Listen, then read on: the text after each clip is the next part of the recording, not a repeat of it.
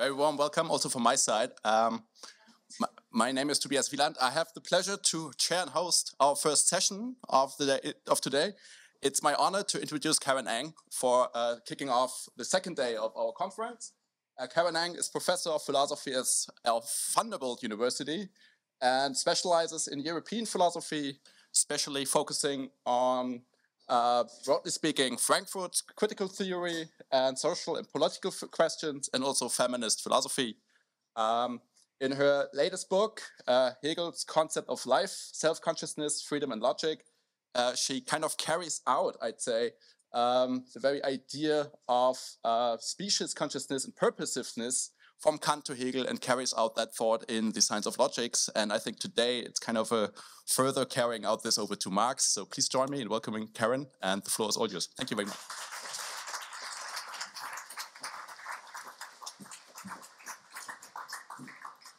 Thanks so much, Toby. And um, thank you so much to all the organizers, to Thomas, uh, Alexi, Isabel, Emily, Jonathan, for, for organizing this really awesome event. Um, I'm really excited to be here. Okay, so I have a PowerPoint, um, but we can sort of just treat it mostly like a handout. So my very broad aim today is to reconsider the concept of species being by approaching it not as a question primarily about human essence, but as an orienting normative framework of Marx's critical project, where I take that project to be broadly continuous with the Kantian and post Kantian conception of critique. Um, and we heard a little bit about. Um, how we might think about the continuities between Kant and Marx in uh, Ippi's talk last night, uh, which was really exciting. So, in what can be considered in one of Marx's earliest attempts to spell out the general project of a critique of political economy, which initially moved between a critique of religion and a critique of the political state, Marx draws on several features of Kant's notion of critique and adopts them for his own purposes. So, first is this idea of a Copernican revolution in philosophy, which Marx interprets in humanist terms writing that human beings revolve around themselves as their real sun, and that human beings are the root, origin, and source of their own activity. Um, Marx's Copernican revolution places human self determination at the center of social criticism, such that societies made through human activity can be remade through that same activity. Second, and in, a, in, an explicitly moral register, Kant rewrites, uh, sorry, Marx rewrites uh, Kant's categorical imperative as the demand to, quote, overthrow all circumstances in which man is humiliated, enslaved, abandoned, and despised.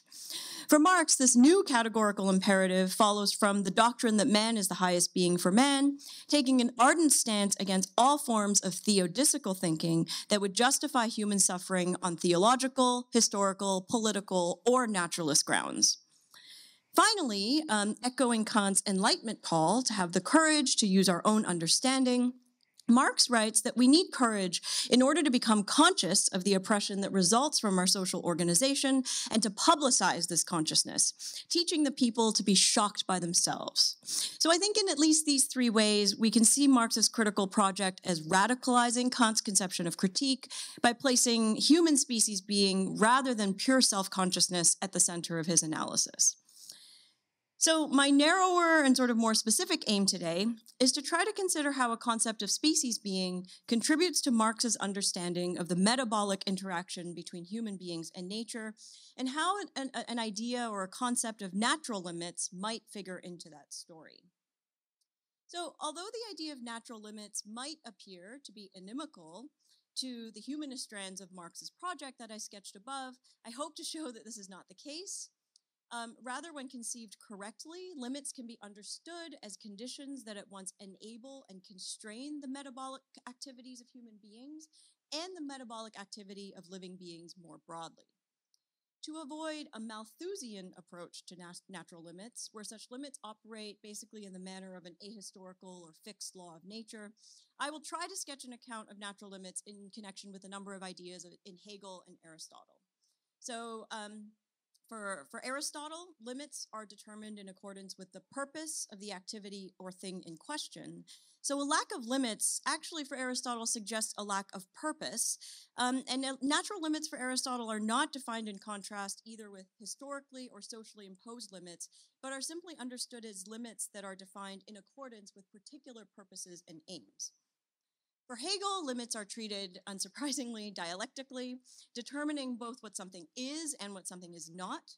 Um, and although we, you know, we might suspect that Hegel is being a bit uh, obscurantist here with his uh, formulation, I think his account is actually very helpful, and he develops this account of limits in connection with his account of determination and qualitative being as negation, where something constitution is in part determined by standing in relations with what it is not.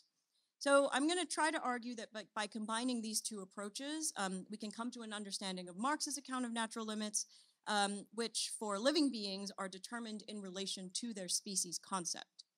In the human case, natural limits can be understood in relation to self-conscious species being, um, but although self-consciousness introduces obviously a lot of uh, further considerations and complications, I don't think this entirely annuls the idea of natural limits, without which um, I argue we cannot really make sense of Marx's critique of capital as the limitless process of self-valorization.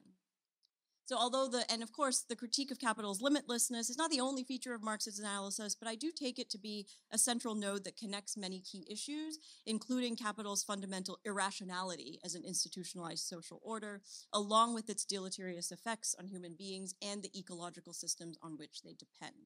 So the paper is gonna have two parts. The first part, I'm gonna try to sketch this idea of species being from Hegel to Marx, um, um, sort of uh, doing the thing that we were told yesterday maybe we shouldn't do. Um, and one of the things that comes out in that account is this uh, the importance of this idea that species being is connected to the, this idea of measure and inherent measure. Um, and then in the second section, I'm going to talk about natural limits, talk about this passage from Capital where, talk, where Marx talks about the limitlessness of capital um, and connect it to some themes in Aristotle and Hegel. okay, so the first section is species being and Marx's humanist project of critique. So although there's no doubt that Marx's immediate context of intellectual engagement suggests, suggests Feuerbach as the source of the term Gattungswesen, it is Hegel who first develops a systematic account of the intimate connection between self-consciousness and species consciousness that lies at the core of the concept. Without underestimating the vast differences between Kant and his German idealist successors, um, we could say that one distinguishing feature of what has become known as critical, as opposed to dogmatic philosophy in this tradition, concerns the inescapable role of self-consciousness in articulating its own conditions. So whereas Kant was primarily interested in the transcendental conditions of uh, both pure theoretical and practical reason, whose ultimate source was the unity of pure self-consciousness, Post-Kantian thinkers became increasingly attuned to understanding the conditions of knowing and agency in relation to both nature and historically developing social relations and institutions. In articulating these natural and historical conditions, however, self-consciousness continued to play a central role via what uh, I'm going to call the reflexivity condition. So the reflexivity condition um, uh, is, this is how I'm going to define it. Um, it states that our philosophical accounts of nature and history, along with their interrelation, must be able to account for the self-conscious activity of coming to grasp nature and history as conditions of human knowledge and action. So in the case of nature, our philosophical accounts must conceive of nature in, the way, in a way that makes it intelligible that self-conscious life can emerge through natural processes. So yesterday we had this great conversation early on in the day about why um, uh, we can't have a mechanical um, account of nature. And so the, the, the, the whole debate within post-Kantian philosophy stretching into, into Marx um, that why is it that nature can't be universal mechanism? I think one of the reasons is what I'm trying to articulate here in terms of the reflexivity condition. In the case of history, which we also discussed yesterday, our philosophical accounts must conceive of history such that its processes can be grasped as the results of self-determining actions of social individuals and groups. So whatever historical materialism is, it should not be thought of in terms of economic or technological determinism. Critical philosophy um, subscribes to the reflexivity condi condition I, I, am arguing here, which secures the role of self-consciousness in its very method. Dogmatic philosophy, which is generally in, associated with Spinozism and religious dogma in the context here, ignores or obscures the role of self-conscious thought and agency in the presentation of its subject matter. So whether in claiming that everything is substance or that God created the best of all possible worlds, dogmatic philosophy obscures the role of self-conscious agency in coming to know and act upon its own conditions. So I start here with this idea of a, the reflexivity condition because it sets the stage for uh, two claims that I hope to develop in what follows. The first is the importance um, of self-consciousness, which I'm going to suggest that Marx understands in terms of species being. And the importance of this idea, I think, lies not simply in its character characterization of what might be distinct or even essential about human beings, but in its role as a methodological and ultimately normative orientation of Marx's critical project. So this means that although Marx famously comes to pretty much abandon the language of species being, I think that there's no evidence that Marx ever abandons the importance of self-consciousness or of the reflexivity condition, which opens up a new way of thinking about how species being could provide the framework for a critique of political economy. Second, any account of natural limits, uh, which I'll try to develop in second section of my paper, will be subject to the reflexivity condition. That is, if there are natural limits and if human activity is subject to such limits, these must be conceived in relation to our power of self-conscious agency rather than as fixed or insurpassable element, uh, impediments. So as I just mentioned, the idea of self-consciousness as species being, uh, I think, is first developed by Hegel. In the Phenomenology of Spirit and many other places, Hegel claims that self-consciousness is the Gattung for itself. And he conceives of the self-active self-relation of the I as a form of living activity that grasps its own universal form. So we can understand um, Hegel's claim that self-consciousness is species consciousness through three interconnected arguments. So first, it, since self-consciousness is characterized as the self-relation of the I, I think Hegel is simply applying a principle that for him holds for the determination of all individuals, namely that individuals are what they are on account of being an individual of a particular species or kind. So an individual is never simply a this, but always a this such. And so an individual I can be determined as such only by being an I of a particular kind. If self-consciousness is an awareness of oneself as an individual I, then it follows that self-consciousness must always also involve and at least partially consist in species consciousness.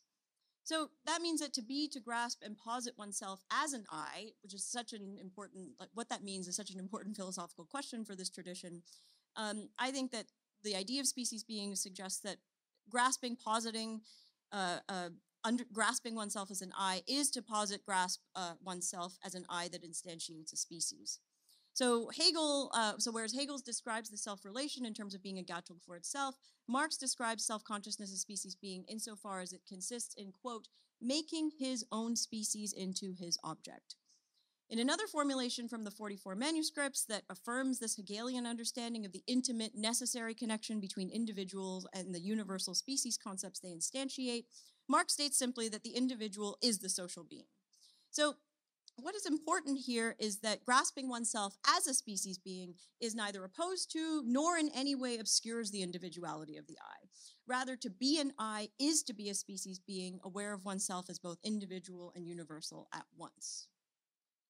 So second, self-consciousness to species consciousness follows from a particular understanding of life and the fundamental shape of its activity.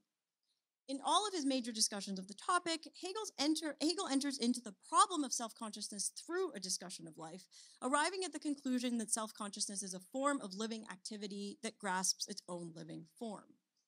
Beginning with life is one of the ways in which the reflexivity condition is met if we wish to proceed from a broadly naturalistic perspective in which self-consciousness and its activities emerge from and are conditioned by the natural world. Natural processes must manifest a form of activity that is continuous with the activities of self-consciousness, express, expressing a potentiality for both intelligence and self-determination that can be realized in myriad forms.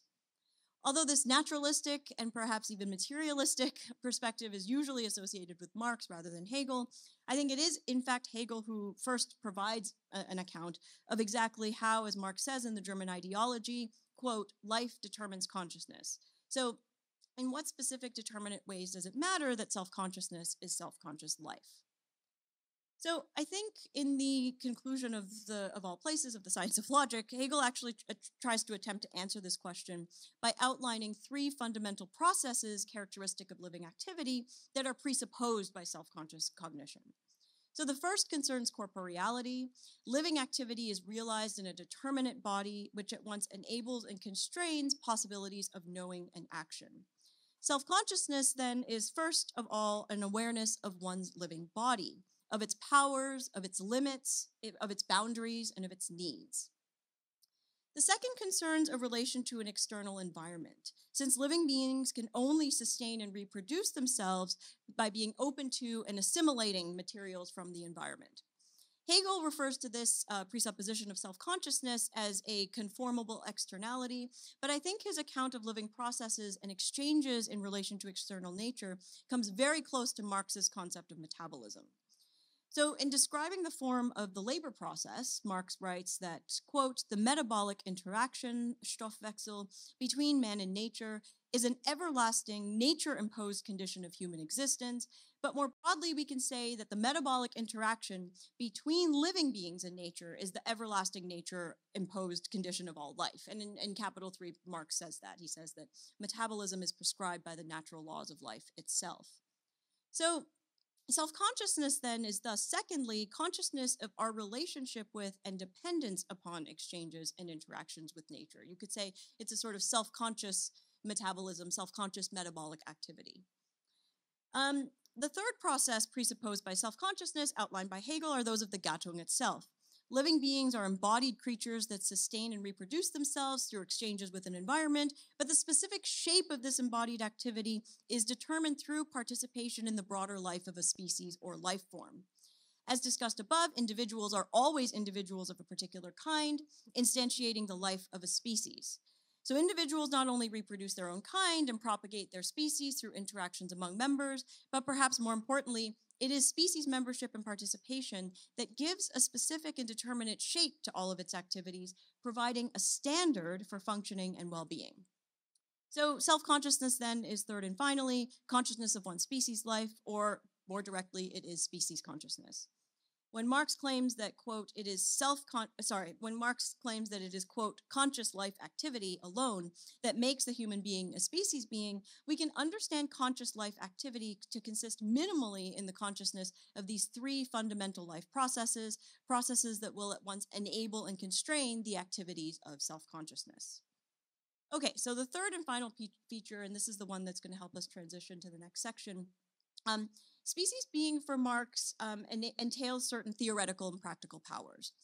Um, Hegel gives a sort of very complicated version of this argument, I think, also in the logic, but it, Marx actually is much more clear and succinct about this.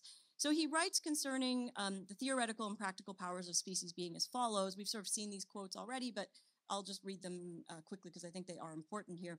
So, man is a species being not only in that practically and theoretically, he makes his own and other species into his objects. But also, and this is only another way of putting the same thing, he relates to himself as the present living species, um, in that he relates to himself as a universal and therefore free, free being. I think so much is packed into that quote, right? There's a claim there about self consciousness. There's a claim about what the powers of self consciousness understood as species consciousness, um, what the theoretical and practical powers of self consciousness as species consciousness entails. So that's like a really dense passage. So he continues and he sort of elaborates on this key line of uh, what does it mean to make his own and other species into his objects. So he writes, the animal only fashions things according to the standards and needs of the species it belongs to, whereas man knows how to produce according to the measure of every species, nach dem Maß and knows everywhere how to apply its inherent standard, inherent Maß, to the object. Thus, man also fashions things according to the laws of beauty. Um, I'm going to say a lot more about this idea of Maß moving on um, in the paper. So, the key power um, afforded by species being concerns the power to make his own and other species into his objects. The self conscious capacity to grasp our own species concept is thus essentially connected with the power and capacity to employ species concepts more generally, a capacity that transforms how we relate to, to nature from both a theoretical and practical perspective. So, theoretically speaking, species being affords an intellectual power of knowing the quote, inherent standard or inherent amass of things, such that scientific and aesthetic engagement with the natural world becomes possible. And we heard a lot about this um, in Sabina's talk uh, yesterday about the, the, the, way in which um, Marx has this whole story to tell about our aesthetic engagement with the world. The theoretical power to think and judge in accordance with species concepts is at the same time a practical power that allows us to produce according to the measure or Maß of every species. It is uh, in this quote working over or Bearbeitung of the of the objective world that man first really affirms himself as a species being. So I just want to make a note here in describing the theoretical practical powers of species being. Marx is clearly not suggesting that they allow us to know and act as universal and free beings insofar as we can transcend or overcome the conditions of life or the limitations set by nature.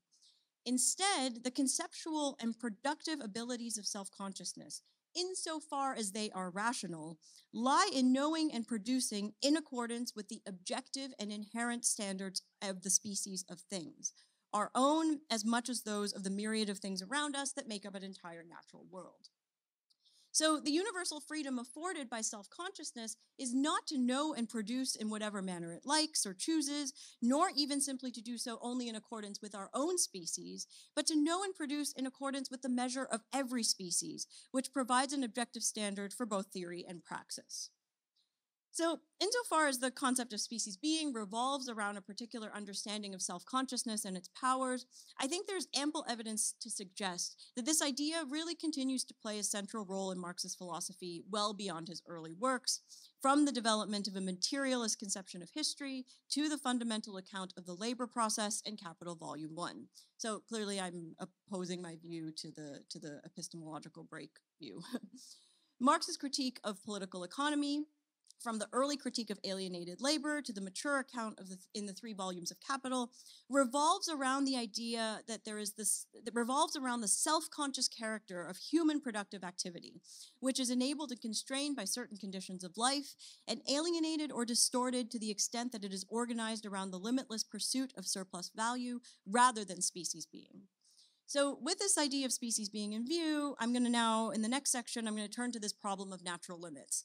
Um, as I hope to show, the idea of natural limits is both central for Marx's critique of capital and also fully compatible with these humanist, uh, with this humanist orientation of his project that I just sketched um, in this first section. So the second section is on natural limits. So one of the key features of Marx's critique of capital concerns its movement as a form of limitless self-valorization. In developing the general formula for, uh, for capital, Marx describes this movement in which value presents itself as a subject, as self-moving substance, right? All of these really fanciful and kind of beautiful descriptions. It lays golden eggs, um, and and it, it, it and so on and so forth. But I think the problem here is not simply this inversion, right? So that's another way to read this uh, very common way that there's an inversion going on where capital is the living subject with agency and a clear purpose, and human beings are sort of reduced to, to a mere commodity and thing. Rather, I think the problem concerns here, there's another way of reading Marx's critique here, where the pro problem concerns a relation between ends and limits, which Marx presents as follows. So this quote, uh, I'm going to read this quote here. In a way, the rest of the paper is a, a, a me trying to unpack and understand this quote. So Marx says the simple circulation of commodities, selling in order to buy, is a means towards a final goal or Endzweck, which lies outside circulation, namely the appropriation of use values, the satisfaction of needs. As against this, the circulation of money as capital is an end in itself, a Selbstzweck, for the valorization of value takes place only within this constantly renewed movement. The movement of capital is therefore limitless or maßlos. So, what exactly is the problem with the limitless uh, movement of capital as a Selbstzweck that continually adds value to itself? From a certain ecological perspective, the answer is clear. Insofar as the natural resources of the earth are themselves a source of value and a necessary condition for the labor for the human labor process that produces value, these natural resources are obviously not limitless, and capital's limitless movement threatens to destroy the earthly conditions of its self-valorization. Um, two very prominent theories, well known in this room, I'm sure, um, have defended this perspective in different ways. So we've got the metabolic rift theory. Um, Thomas sort of described this a little bit in his introduction. Um, Foster and Bur Burkett basically argue that capitalism produces an irreparable rift in the metabolic relation between human beings and the earth. Um, so uh, I, I, won't read this whole passage here, but from this idea of a metabolic rift, Foster argues that we can find in Marx's critique of capitalism a deep interest in sustainability, um, where ecological sustainability is crucial for addressing the problems of alienation, we have a, a theory uh, in Nancy Fraser who she's emphasized the need to expand our conception of capitalism um, beyond production and understand it as an institutionalized social order. And her version is a crisis theory approach to capitalism's ecological contradiction. She argues that given that nature functions as a sort of non-economic condition of possibility for production and exchange, um, she argues that capitalism is structurally prone to ecological crisis since it is primed to free ride on a nature that really cannot self-replenish without limit. Um, which means that capitalism's economy is always on the verge of destabilizing its own conditions of possibility. So I think these two critical frameworks offer very important insights, both as readings of Marx and as approaches for de developing ecological critiques of capitalism, but I'm going to try to take a slightly different approach um, and returning to the passage I quoted just now, um, I want to just think differently about why it's a problem for Marx that the movement and, aim of capital is limitless or maßlos. Um, I want to argue that there is a philosophical conception of natural limit. So I think the Burkett and Fraser are basically right, uh, but I think that con concept of limit is based. It, it's an empirical concept of limit, right? The the Earth's resources are empirical as a matter of empirical fact. it, the earth is not limitless, and so this creates all kinds of problems. But I think that there's also a philosophical and even normative conceptual of natural limits at work in Marx's critique. Um, and one I'm going to try to show is compatible with the reflexivity condition and the account of species being that I presented in the first section. Um, a further note is that in developing this account of natural limits, I'm not going back to the first generation of ecological Marxism, for example, in the work of Ted Benton, um, who, who in fact criticized Marx on account of not attending to natural limits. So he, the Promethean Marx, right, ignored natural limits. So that was actually a critique of the first generation of eco-Marxists. Um, and that debate really concerned whether we understood natural limits in an ahistorical Malthusian fashion or rather, rather or, or whether they were instead subject to social and historical specification, specification and determination. I'm going to take for granted that Marx's account is always, and right, everything is Marx is going to be historically variable. Um, so I'm not going to get into that debate here. Um, uh, so I'm going to take take for granted that natural limits can only be grasped in relation to the self-conscious metabolic interactions between humans and nature. Um, and so instead of going back to the first generation, I'm just going to raise two philosophical questions moving on, which will lead me to Aristotle. Um, and then eventually back to Hegel. So the first question is, what does it mean? What does it mean really to say that capital is maßlos, especially when we want to think about that idea of that that it's maßlos, not just in um, in, in a merely empirical sense. And then the second thing I'm going to do is I'm going to look at Marx's really, really long footnote that I'm sure you're all familiar with, where he cites Aristotle's politics at length in order to try to explain this problem. So what, what makes the capital, the movement of capital in contrast to the simple circulation of commodities, limitless?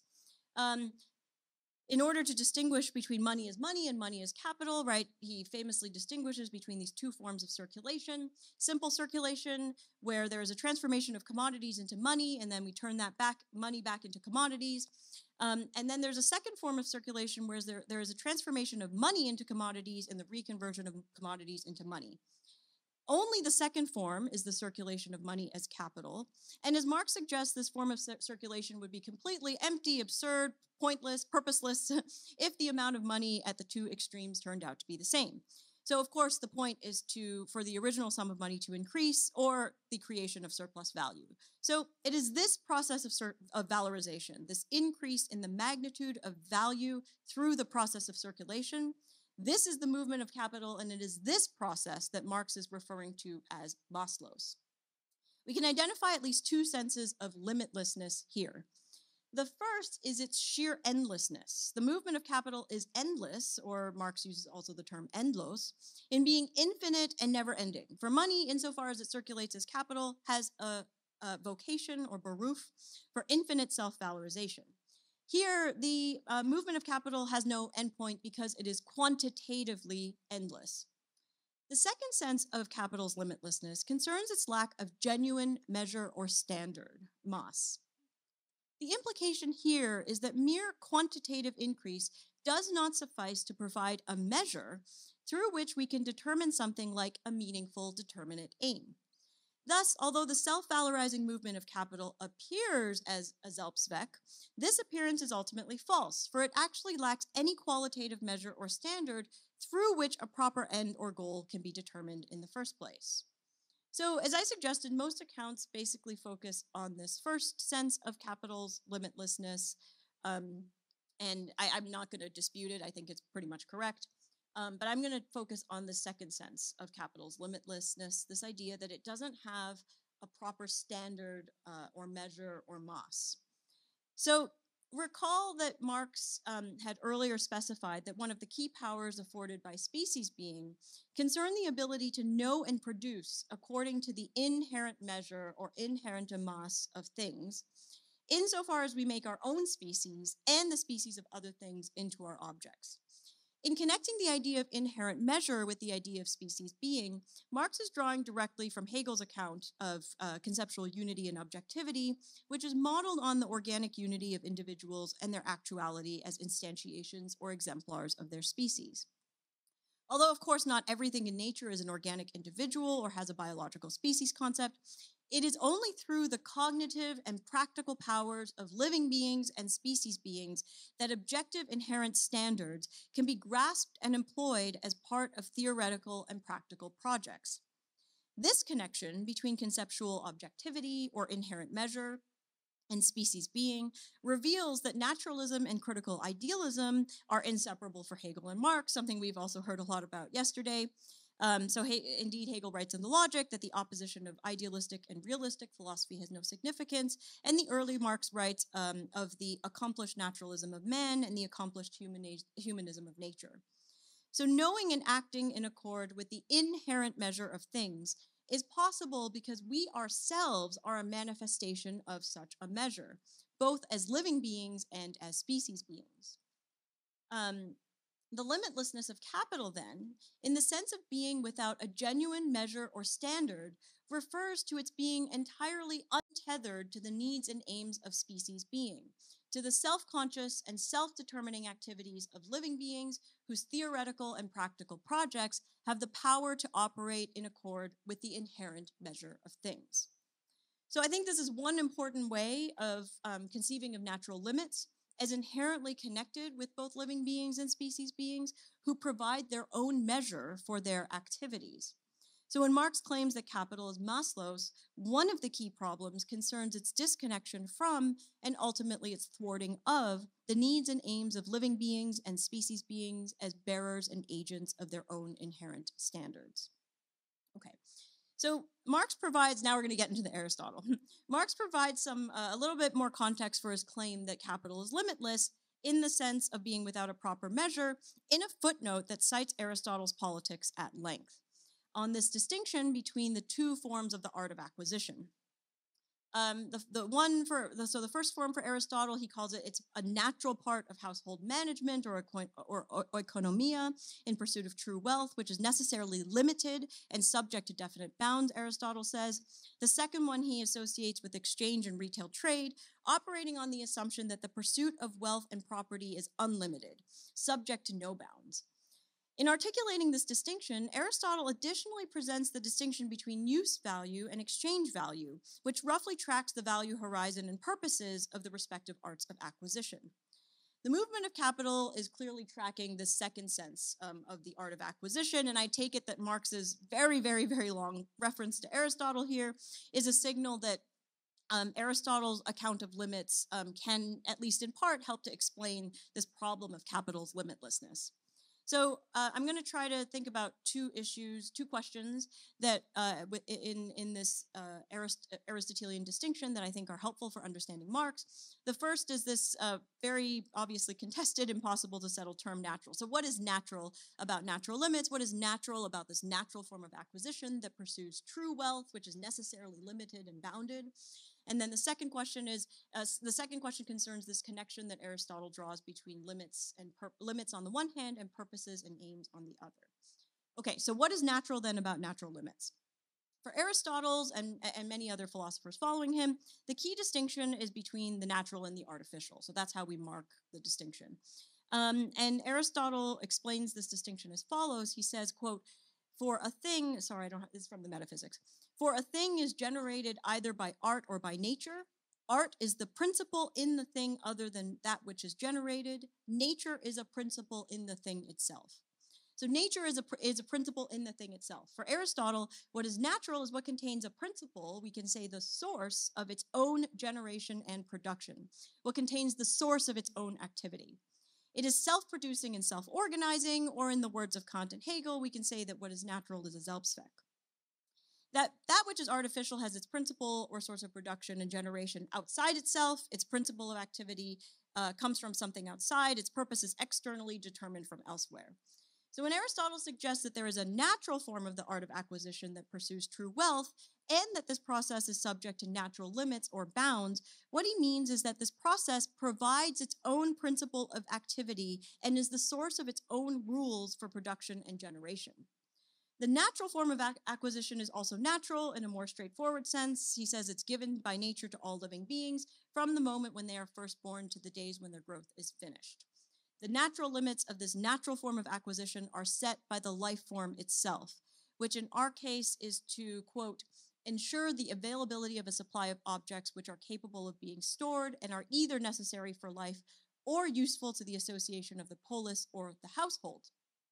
These are the objects which may be regarded as constituting true wealth, for the amount of whole household property which suffices for a good life is not unlimited.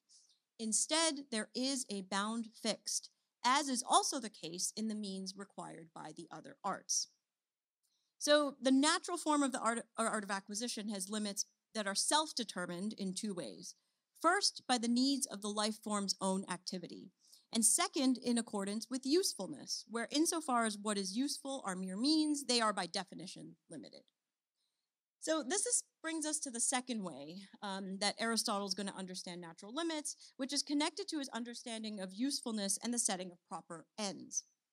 Aristotle explains the second unlimited form of the art of acquisition by introducing the by now very well-known distinction between use value and exchange value, and it is through the development of the art of exchange, uh, what he eventually calls retail trade, that the acquisition of property acquires its unlimited character. What provides something with a natural limit, as opposed to being unlimited or boundless, concerns a relationship between means and purposes or ends. So he's sort of reflecting here on this relationship between means and ends. Um, he attempts to explain the problem by comparing the art, and this is the last passage from Aristotle, he, uh, ex explain this problem by comparing the art of acquisition with different kinds of arts, right? Com he does this all the time, it's all, Aristotle does this all the time. Um, different arts that also employ means towards ends. So he says, the wealth produced by this second form of the art of acquisition is unlimited.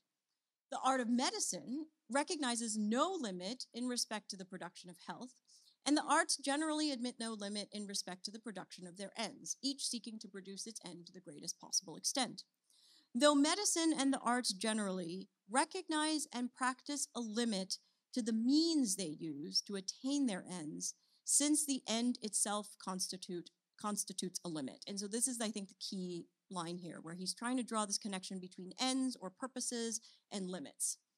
Um, the art of household management, as distinct from the art of acquisition, has a limit. The object of that art is not an unlimited amount of wealth. Okay, so this passage, it is admittedly a bit confusing, but what I'm going to try to draw, pull from it are basically two different kind, two senses of limit. So first, the art of medicine has no limit in, this, in the sense that it attempts to produce health to the greatest possible extent. But the greatest possible extent here has to be both quantitative and qualitative. Um, so we could say both for the greatest number of people and the highest degree suitable for living a good life. But I want to add here that when Aristotle, that the unlimited nature of the greatest possible extent has to be irreducibly qualitative. I think this is the problem here, right? That the limitlessness of capital is, is a sort of purely quantitative determination, and Aristotle is showing that limits require the determination of a determinate aim or purpose. Um, the the means employed in all arts aristotle says is limited and so i think this brings us to the second sense of limit which is defined explicitly in re- in relation to this idea of an end or purpose or a telos when aristotle claims that there is a limit to the means we use to attain ends it is because the end itself constitutes a limit so, although the art of medicine uh, seeks to produce wealth to the greatest possible extent, it remains limited in a different sense, insofar as it is tied to a determinate, qualitatively defined purpose. The purpose itself constitutes a limit because it sets qualitative boundaries without which um, we would not be able to ascertain the appropriate means towards it. So the, the upshot here, I think, is that natural limits are determined by determinate, irreducibly qualitative purposes and aims. The natural form of the art of acquisition is limited because it has the determinate aim of subsistence or living well. The second form of acquisition is unlimited because it has no determinate aim or purpose at all. Mere quantitative increase is not a properly defined purpose that can set any limits with respect to means, thereby distorting the very idea of rationally employing means towards ends. Without being subject to natural limits, in the sense here outlined, um, being self-determined in accordance with activities and purposes of living beings. Capital is Maßlos because it does not constitute a proper purpose or aim at all. And I think one of the things that Marx might be suggesting here um, sort of going even further than, than the first generation of the Frankfurt School, it's not that capital is a form of instrumental reason. I think he's saying that capital, in being without any natural limit or quantitative determinateness, is not even instrumentally rational, because the very idea of employing means towards ends of instrumental rationality itself requires this concept of natural limits. Okay, so that's i'm going to try to I, I, don't have much time left um, i'm going to very quickly just try to say a couple of things about hegel. Basically what hegel does um, is that we can hegel can help us um, develop this aristotelian account of limits in a more dialectical fashion. Um, he sort of allows us to block the worry that this aristotelian account is maybe overly fixed or ahistorical um, when we're thinking about this problem of natural limits and uh, hegel basically gives us a kind of dynamic approach um, to limits as enabling conditions. So, um, very quickly, Hegel takes up the problem of limits in connection with this very broad question of thinking about the determinateness of being as such, right? So, what makes something determinate? Um, how, what gives something a quality? How should we understand qualitative determinateness at all? At a very, very high altitude, determinateness for Hegel unsurprisingly involves negation what something is, insofar as it has determinate qualities, is determined in relation to what it is not. Great, perfect Hegelian uh, claim. We can say further that anything that has a qualitative determinateness has a particular constitution and likewise a limit. So Hegel writes, through the limit, something is what it is, and in the limit, it has its quality. I think this accords very well with what we've seen in Aristotle's account, where qualitative determinateness requires limits. Capital is limitless in part because it has no qualitative determination, only a quantitative one. So Hegel says two further things uh, that makes his account of limits, I think, more explicitly dynamic and dialectical than Aristotle. So first, he says that something in its limit both is and is not. And secondly, he says that since the limit is in the determination itself as a limitation, something transcends its own self. Geht etwas damit über sich selbst hinaus. Okay, so very quickly, I'm going to draw two conclusions from this and then I'll be done. so, the first, um, in suggesting that something in its limit both is and is not, Hegel is introducing the idea that limits can be understood not as inert fixed points, but as enabling conditions of possibility possibility that makes something what it is, that define, as he would say, its constitution. Limits constrain what something is and what something can be and what it cannot be, but they also represent something's fundamental enabling conditions that are the source of its possibilities, powers, and capacities. That is to say, without such limits, nothing would be constituted such that it had powers, possibilities, and capacities at all. Limits enable, as, empower, limits enable and empower as much as they constrain, and they do so both at once to provide things with a determinate constitution such that they can be what they can be, and when applicable, do what they can do. Okay, so second, um, and elaborating on this, elaborating on this idea of limits as conditions that enable and constrain, Hegel, Hegel claims that it is through limitations that something can transcend or go beyond its own self. This further emphasizes, I think, the dynamic power contained in limits that I want to stress. Um, but I want to stress that what Hegel says here is that we transcend our own selves, we go beyond our own selves, not that we transcend limitations as such. Rather, it is through such limitations that the powers of self transcendence are defined and actualized. So, despite the frequent discussions of Hegel's lack of respect for all sorts of limits set by Kant's philosophy, I think Hegel, in fact, understands the power of limits in a deeper way. Rather than rendering us fixed in relation to a fixed point, natural limits render determinate powers of self transcendence possible, but only insofar as we come to an understanding of the proper constraints of our self-determined purposes, no less of our life form and its aims. The suggestion of my talk is that an account of natural limits is not only compatible with the critical humanist account of species being that I think is definitive of Marx's critique of capitalism, but further that it develops that account in important ways that have yet to be fully appreciated. Okay, so my conclusion now um, I began by arguing for the importance of self consciousness and species being as representing the methodological and normative framework for Marx's critical project, laying out some of the key features of species being as developed in Hegel and Marx. I then attempted to develop, um, defend a new way of understanding the idea of natural limits in connection with species being in a way that meets the reflexivity condition in order to assess the meaning of Marx's claim that the movement of capital is limitless or without measure.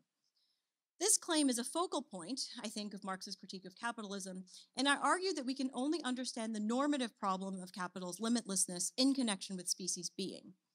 Self-consciousness of our life form is the consciousness of natural limits, where natural limits in relation to our bodies, our environments, and other human beings enable and constrain our self-defined purposes along with our powers for self-transcendence.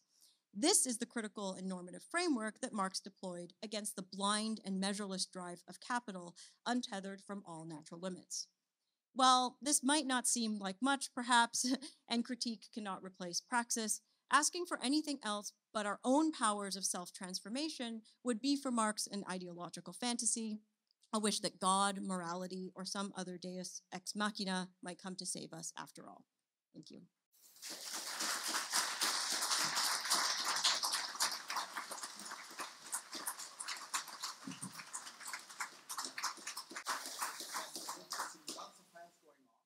So, um, yeah, I was wondering about this idea of limitlessness, and um, I mean, and the question whether there is a dimension inherent to life that has to be taken into account when you speak of, of limitlessness. And I, I, think that relates to, uh, you know, a, a certain strand in post-Kantian thought that we seem to push aside, which is the dogmatic or the return of the dogmatic.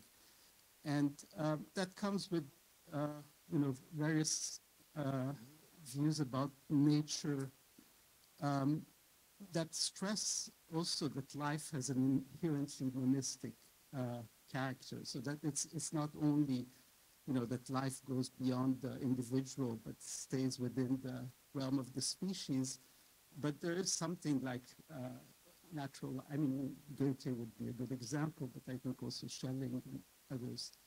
And, and I guess the question would be, is that dimension translated somehow into human existence? And what does that mean uh, in relation to questions that bear on you know, specific kind of suffering of life that is inflicted by uh, capitalism? So, you know, what is that infinity exactly what is the character, I think you could call it, you know, infinite is also a certain kind of eternal recurrence in human life. Um, so the, I think, again, this is a conception of life we can trace back to ancient philosophy, but not quite Aristotelian one. Yeah, so. so Thanks for that. Um, so I think what you're, if I'm understanding your question correctly, what you're pointing to is that the way that the, Pope, so you mentioned Goethe and Schelling, but I think, I think Hegel's account is very influenced by, by Goethe and Schelling, that I, I emphasized the limited nature of, I talked about natural limits and that what a life, what a, what a life form, the, the idea of a life form or species concept provides is a set of limits. And you're drawing on this idea that there's also this other strand that there's a limitlessness to the way that they conceive of life itself. And I think you're right. One of the puzzles is that I think the structure of life, um, the structure of living activity and processes in this tradition, I'm going to speak broadly, I'll say in this tradition, but we could, you know, get more fine grained in, in, in the break. um, is life is characterized both in terms of uh, good, in, the true infinite, and as bad infinity. And, and the passages that I quoted at the end on Hegel on the limit basically leads up to discussion on good and bad infinity. And so this is a, I think you're absolutely right, there's a puzzle. So on the one hand, I think Hegel does suggest that something about the form of inner purposiveness of the living thing manifests a form of true infinity. It's the first, the first and immediate form of true infinity that we get uh, in nature. On the other hand, when he speaks of life in comparison to self-consciousness, I think that's when life takes on this character of the bad infinite, right? Because it just sort of goes on and on and on, die, live, die, live, die, live, live, reproduce, die, live, reproduce, die. And it, that is, for Hegel, a, a, a sense of limitlessness. Um, and so I think you're right to pick up on that. Um, one thing I would say is that there is, so maybe I would just say, I have to think more about this, but I would say the bad infinite character of life only shows up when we're thinking of life, mere life in connection with self-conscious life. Um, it becomes a point of contrast, I would say. Um, at least I think that's how I would read it, um, that we we all we all of a sudden think of life as a form of bad infinity only when we not, are now trying to draw the distinction to self-consciousness.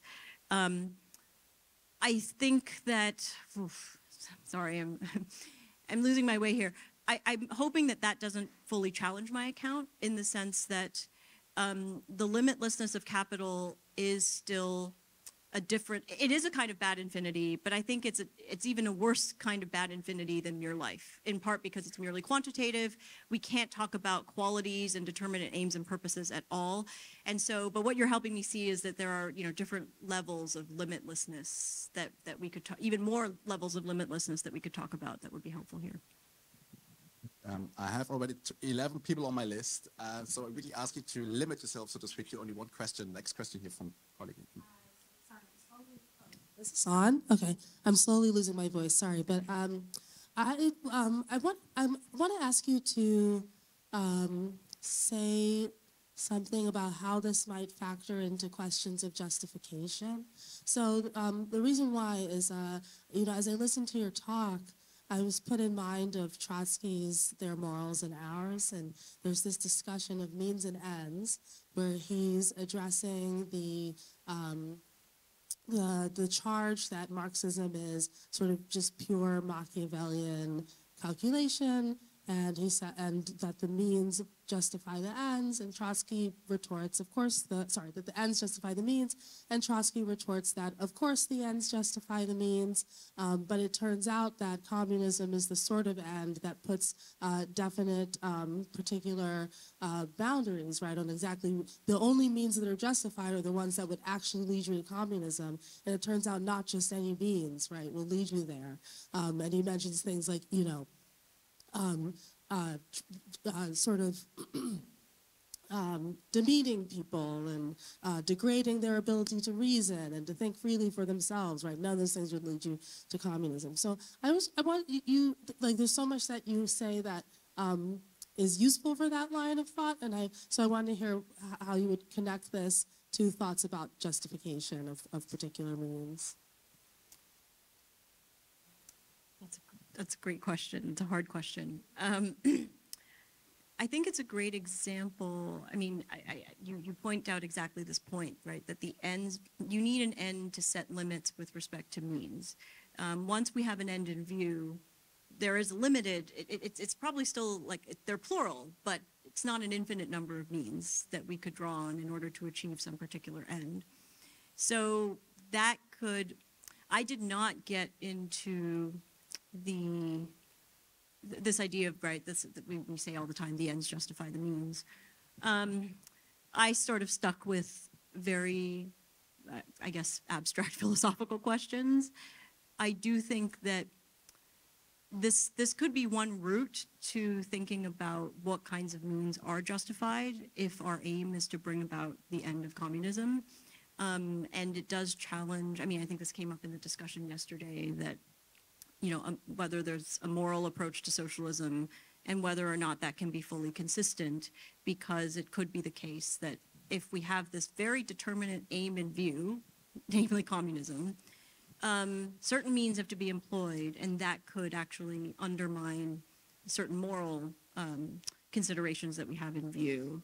So I don't want to like take a clear stance on that, and I don't think I do in my paper, but I, I think I just agree with you that this would be the logic with which we need to think about that question, which at least challenges the possibility of something like a purely moral approach to socialism. Next is Thomas Khurana and then Alexei. Okay, thanks so much, Karen. Uh, so I have two questions: one on the reflexivity condition and one on the uh, on self-consciousness as uh, species consciousness.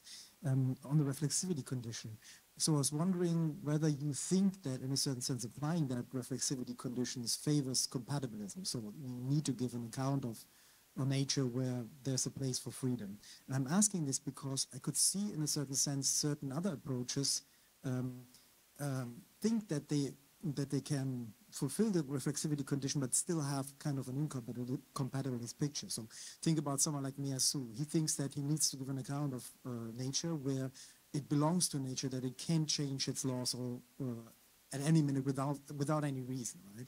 And so there are there are catastrophic breaks in the in the order of things where something new emerges life, and then something new emerges spirit, and so there are breaks. So so does it need to be the case that reflexivity has to be understood in such a way that we get a compatibilistic picture? Could there not be radical breaks? But if there could be radical breaks, then you just presented as one way of fulfilling the condition, not not, not every possible way. Um, so just yeah, whether you yeah. So that's the first thing. The second thing. So you were uh, trying to get us into the whole idea on the framework of thinking about uh, self-consciousness as species consciousness by saying, well, if it's the consciousness of an individual, an individual cannot be a this, it's a this such, so it belongs to a species. But now I'm wondering whether whether that really uh, suffices in order to get us to species consciousness in Hegel's terms and also Marx's terms. Namely, if that's if that's the relation that we're thinking about, then I have I have a kind of a type token kind of situation. So I have to conceive whatever I, I am or, or, or see in the world or in myself as a token of a larger type. So I, I subsume it under a universal species, right, concept. But the kind of species concept that he was describing, if it's an I that is a we and a we that is an I, and also the species concept or species being in Marx, involves a second person relation to another instantiation of that species. So it's not just the type token situation, but a second personal relation. So that's a different, so the sociality is not really captured by the type token thing. All right. Great. Um, I think I, I, I want to affirm, so the first question about the reflexivity condition and compatibilism, I think you're right. Kant is someone who I think subscribes to the reflexivity condition and clearly has an incompatibilist picture. So I was sketching a version of it that requires compatibilism in part because I just thought that Marx, you know, that the lines that we, all these famous lines that were brought up yesterday, humanism and naturalism, naturalism and humanism. So I wanted to make Marx continuous with this. So it, the, I think his method, so the method of critique, um, and, and it's my way of resisting, you could say, the um, the, the, the epistemological break kind of views, where if I can show that there is still this continuity here with respect to the reflexivity condition, but the reflexivity condition can be turned in, can be um, compatibilist as opposed to incompatibilist, um, which is actually how he clearly departs from a, a Kantian way of understanding the problem. Um, then I could, you know, keep my claim that this still matters once we get to the later work where he's talking about self. He doesn't talk about species being, but it's all about self-conscious labor power. So to me, that's that's sufficient. Um, so that would be what I would say about the reflexivity condition. But I think you're right. It doesn't it doesn't have to entail um, naturalism but if we so uh, right, right one further point. But if we think of nature as being if we're interested in thinking about nature as a condition and that these conditions of of of knowing an agency are not just transcendental conditions that would be another shift. Once we want to think about uh, conditions of knowing an agency as concrete natural material things then i also think we need to move in a compat- reflexivity condition and compatibilism Okay, uh, self-consciousness and species consciousness. I think you're also just right. There's just a lot of things that a lot more I need to say. Um, I think that the I used the this such point because it was the easiest point, easiest way to get in. Right? It's almost like Hegel. Where uh, I'm using a very, at least if you're Hegelian, this is like a pretty widely like non-controversial claim. This is this such. That's like the. You read sense certainty. This is this such, and then we apply that. Right. If we accept that, then we have to apply that to this account of ourselves. But I think you're absolutely right that it's actually a much more complicated. Um, that in order to, the way that Hegel gets at that is never. You couldn't just think your way into it first personally but you have to engage in these second right in processes of recognition which i think is the case for him even even in not so even in mere life he's talking about the Gattungs process. The Gattungs process is all about we could say proto second personal right? These relations between the same relations of beings who participate in the same Gattungs process. Um, so i think you're right. Maybe one thing that i didn't say here that i do want to say would want to say in terms of this species consciousness point is that I need to hang, I, I need to say two things about it at once. On the one hand, I do want that Kantian stuff about, you know, the I think that accompanies all my representation. I want that Kantian piece of it, but saying it's species, right, the I think that includes species consciousness that accompanies all my representations. That's the sort of presuppositional side. But I also need the other side, the more Hegel Marx side, which is that species consciousness is also something that's clearly achieved. It's not just, it's, it's the, sort of both presupposed and something that we need to achieve, but that this is exactly the problem that they try to explain and develop. Um, and I didn't really get at that presuppositional and that double structure that species consciousness has to be both something presupposed at that abstract because I'm I'm enough of an idealist that I want to take on some of that Kantian um, stuff and then but we also need a story about okay so then what how does that presupposition structure also become developed in terms of that that species consciousness is clearly something that also needs to be achieved historically for Hegel and Marx. Alexei. Then we have a question in the back. And as we will run out of time, I think I would start clustering if you're fine with that. Yeah, is that okay? So we will have the next two questions and then it's your turn. Okay, thank you so much. Um, I really like the way that you described the limitlessness of um, the capital. Um, and I thought it was very interesting that you said that capital is irrational, that is not like the Frankfurt School could be understood instrumental reason or something like this, but that is complete irrationality. And I was wondering then, in the passage that you interpreted, um, Marx then a few sentences later introduces the uh, the term subject, and he describes value as this self-moving subject in a quasi-Hegelian way, uh, self-moving, self-mediating, self-producing subject. And now I was wondering if you say that the movement of capital is complete irrationality, and we have Hegel's concept of the subject to describe this irrationality, then, then what happens to, to subjectivity in your account, uh, maybe in contrast to self-conscious living? Shall I, can, can you hear me? Yeah, good. Um, thank you, Karen. That was that was awesome. I wanted to um, sound a note of disquiet, and we could dispel it. Uh, like, so, um, particularly the idea of using Aristotle's discussion from the politics to illuminate the some of what Marx is worried about in, in Capital. Partly, the kind of vague feeling I have is that Aristotle's in part trying to uh, describe what, uh, what for him would be a good way for aristocratic rule and what kind of that. can, it, can you hear now? Yeah. Uh, Aristotle, it seems to me, is partly worried about the kind of virtues an aristocratic ruling class should have, and that they need a certain kind of temperance in order to distinguish themselves from the hoi polloi. Um, so that seems to me partly what Aristotle is concerned with in describing the opening bits of the politics. So that's why I'm a bit um, concerned that we would use that to illuminate what Marx is worried about in Capital. That's my disquiet, and I'm just put it out there in the hopes that maybe you can disquiet it me. Yeah. Um, so I think, well, first of all, it, I turned. I, I, I would say I turned. I, I, I turned to Aristotle's Politics because it's such a long footnote. there are that, that book has a lot of footnotes, but um, I I took the length of the footnote to be signaling something important. But your point about virtue, I think I might want to just say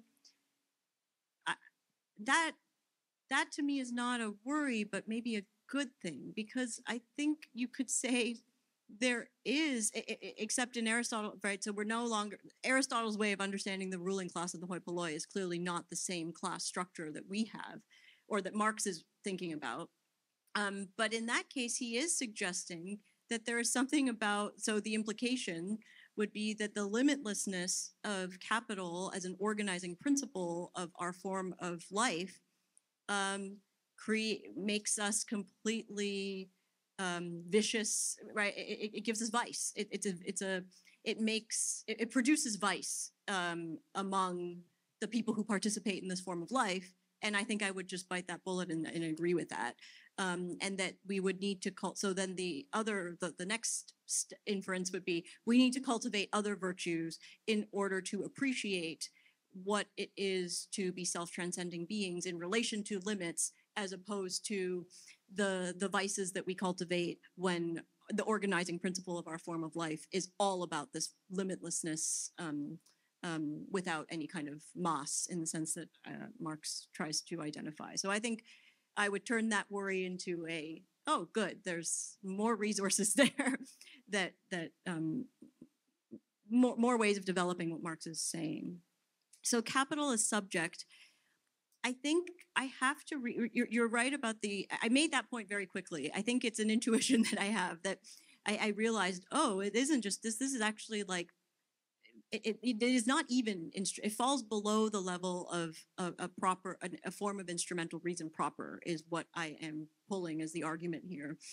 Um, and one thing that I think I have to say then, all those passages where he says the cap, not just capital is subject, he talks about, he uses all of the terms of capital as a Selbstzweck. So all the terms that we normally want to apply to us, he's applying, like that's the inversion account. He's applying to capital and then I think I would have to say that it's it's mere appearance. Um, it has to be the mere appearance of an, a, a, a Selbstzweck, the mere appearance of a subject. Capital can't really, and, and that's actually important for the reflexivity condition.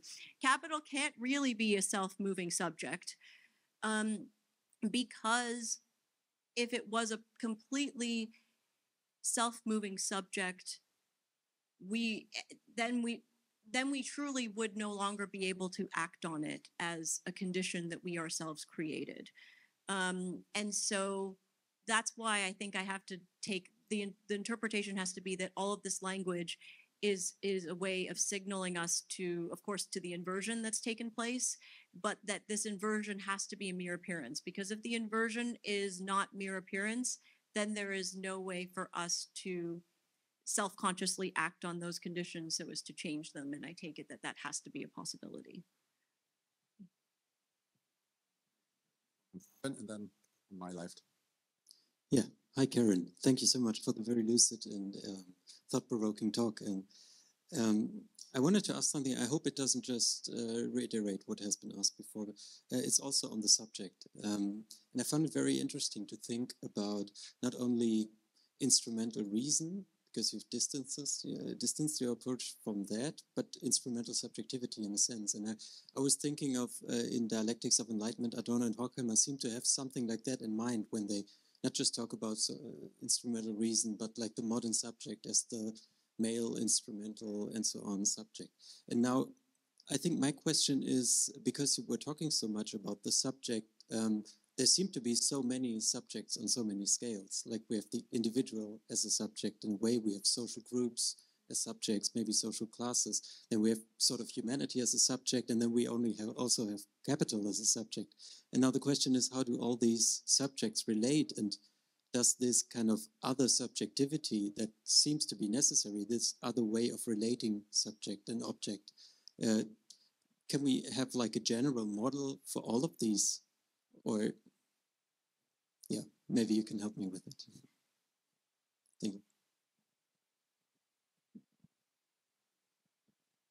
Hello. Hi.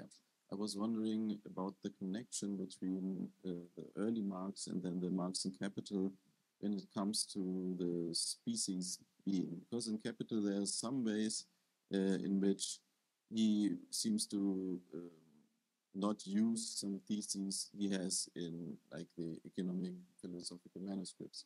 For example, he it talks about labor more so uh, as a form of assimilation or part of the assimilation process, like you pointed out in your PowerPoint.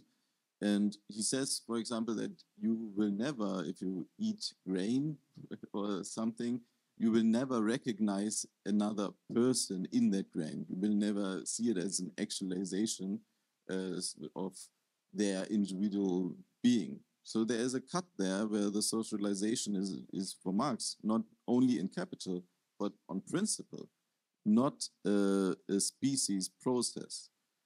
So um, this is when he talks about the um, uh, the labor process in general, and um, also, if you look at your uh, at the um, quote you have with the um, irreparable rift, for example, um, actually the word li life or condition of living processes is not from Marx but from Engels when he um, uh, edited it. So in Marx's version, he just talks about the fertility of the soil and then the uh, social metabolism.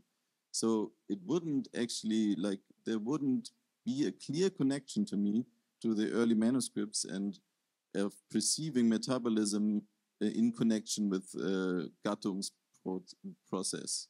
Why, uh, where does the connection, I think, come from? I don't really see the sociality.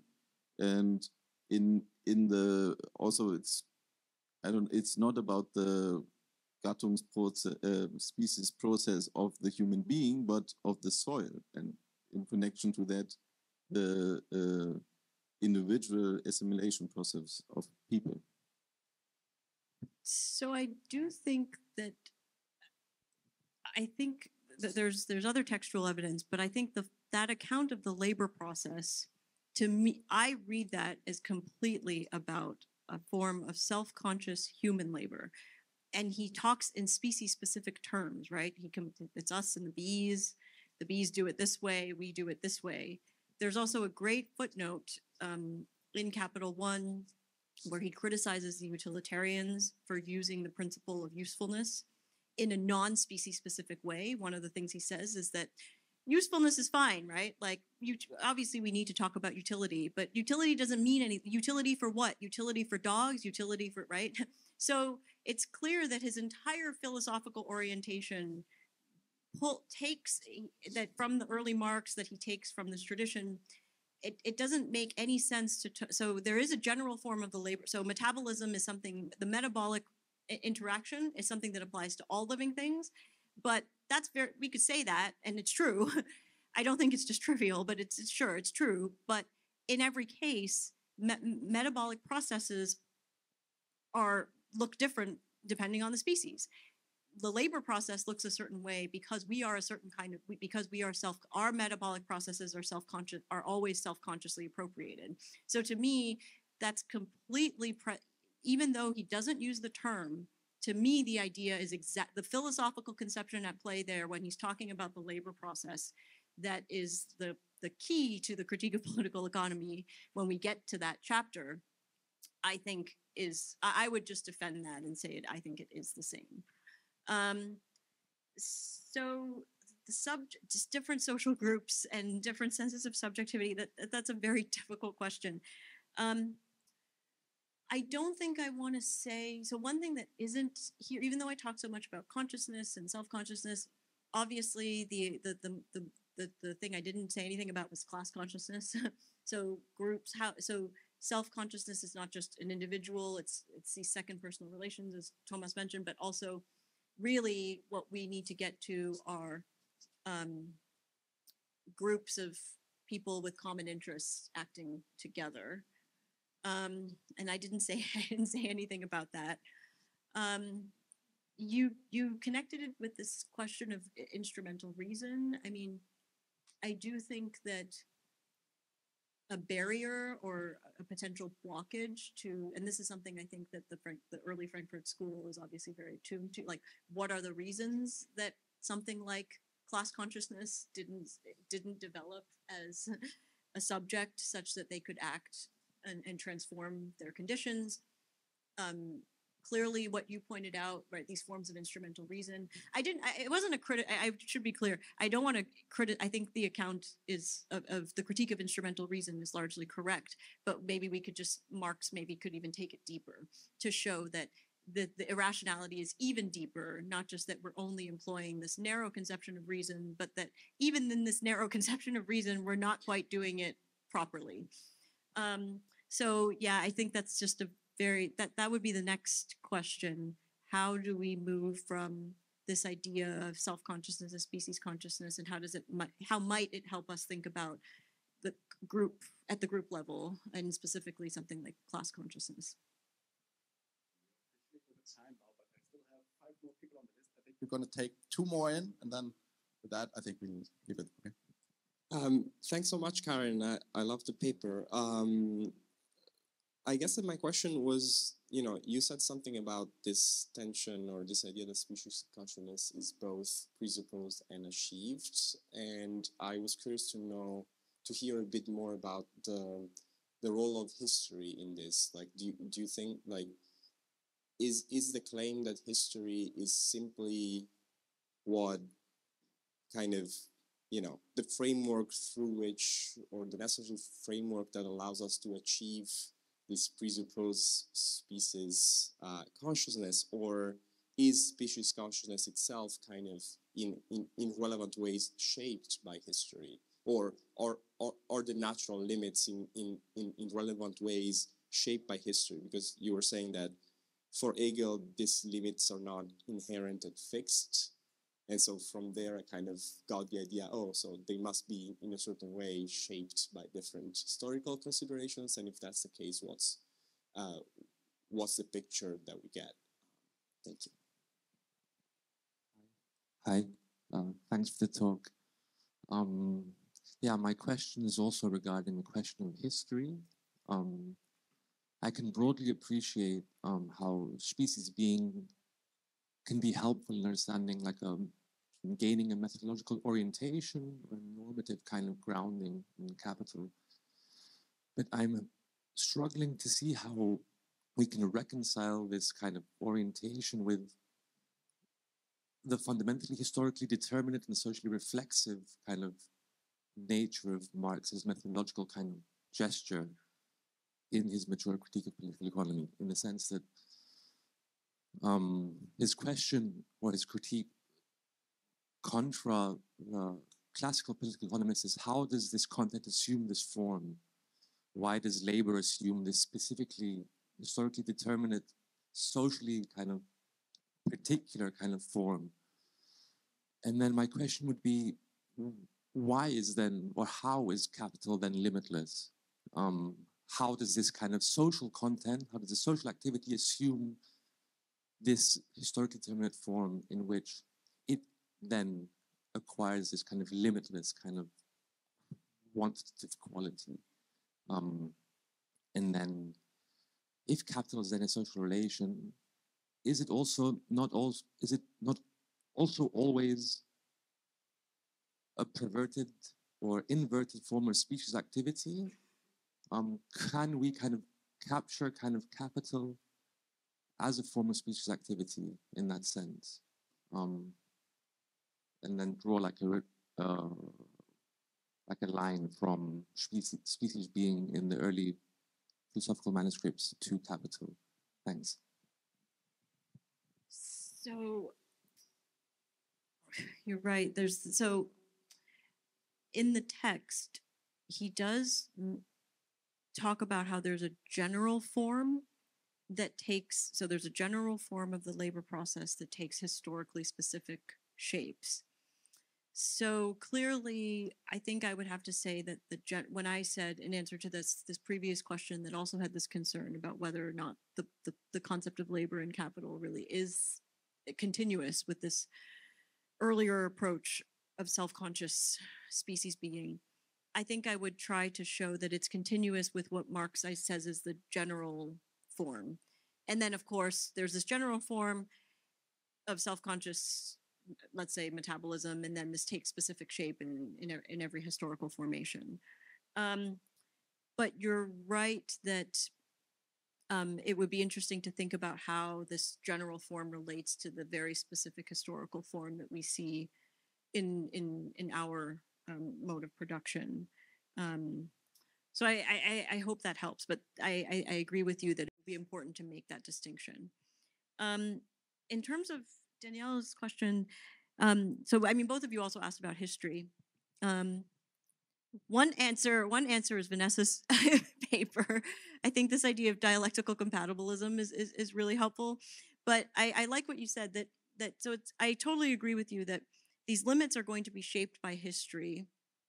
Um, and you could think about the current way in which natural limit I mean, so it's not an accident that I I got interested in thinking about natural limits now. um, and it almost seems as if due to historical conditions, we are now right thinking about what even instrumentally rational ways of acting would be in light of the the, the limits and problems that we face.